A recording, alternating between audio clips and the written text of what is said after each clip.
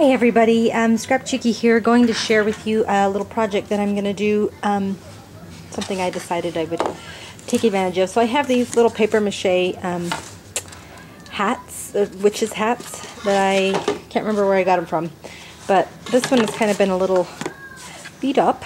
It um, got shoved in a box or kids were playing with it or something, I don't know, something happened to it, but anyway, I thought I would still use it just because it kind of looks um, you know, distressed kind of thing. I found it and it was completely like that, but try to straighten it out a little bit and I think it'll still be of good use. So I have a, um, uh, I guess a Close to My Heart show coming up um, next week and I want to be able to have a lot of uh, things to display of um, get projects that I've worked on. So I've been starting to collect a couple, but I don't have very many Halloween um, or Halloween things to display and it's going to be before Halloween so I put this kind of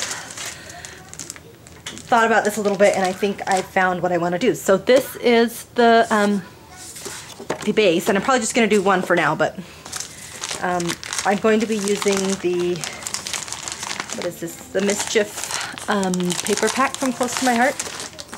And the papers I showed them before I think this is also the kit of the month for the month of October. And oh, it's just got some pretty cool colors. I'm not exactly sure what I'm going to do with this, so I'm going to be winging it as I go. But the papers are super, super cool. I really like this little witchy thingy, or the tree, excuse me. And then it has um, coordinating felt shapes with it, and these are really, really neat. I'm very impressed with how they how they work. Um, also have got some of the um, Mischief rub-on sheets, and I'll show them with you. I can show them, share them with you, and I'll. I've kind of um, tried to keep all of the stuff together, all of the coordinating stuff for that kit in the same bag.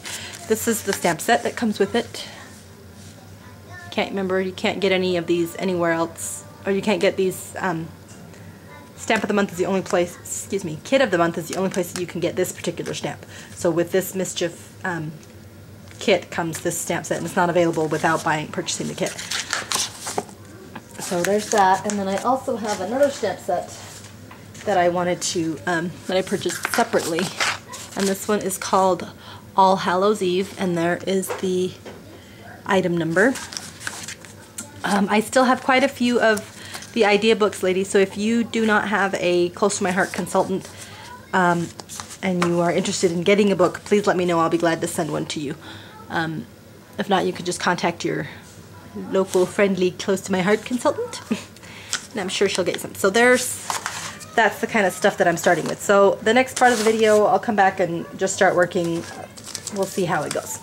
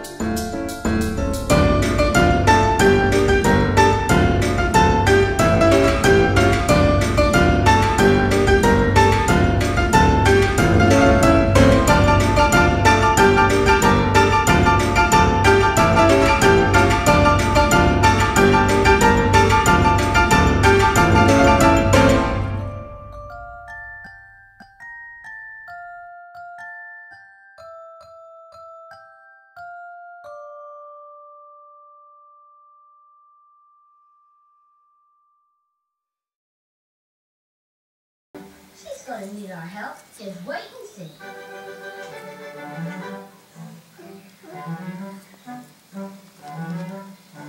This is an excellent place to start looking for where worms live. How do that?